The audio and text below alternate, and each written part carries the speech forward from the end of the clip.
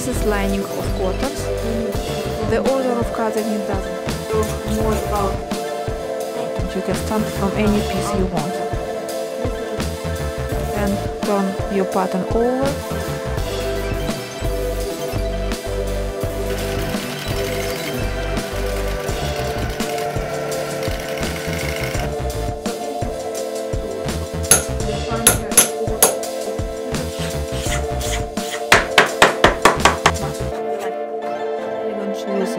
Shoes because the sport shoes it's enough to use short toe puff that will keep the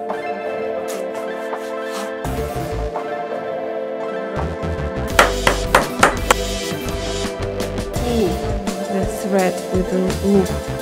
Outside the upper.